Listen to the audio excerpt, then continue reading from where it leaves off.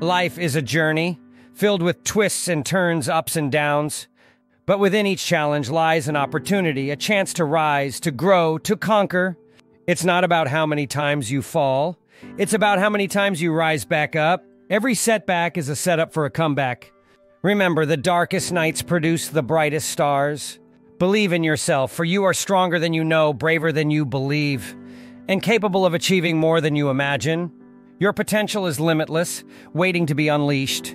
Embrace the obstacles as stepping stones to success. Let them fuel your determination, your grit, your resilience. The road to greatness is not easy, but it's worth it. So stand tall, face your fears, and chase your dreams with relentless passion. You have the power to create your own destiny. The time is now. Seize it. Make every moment count. This is your story.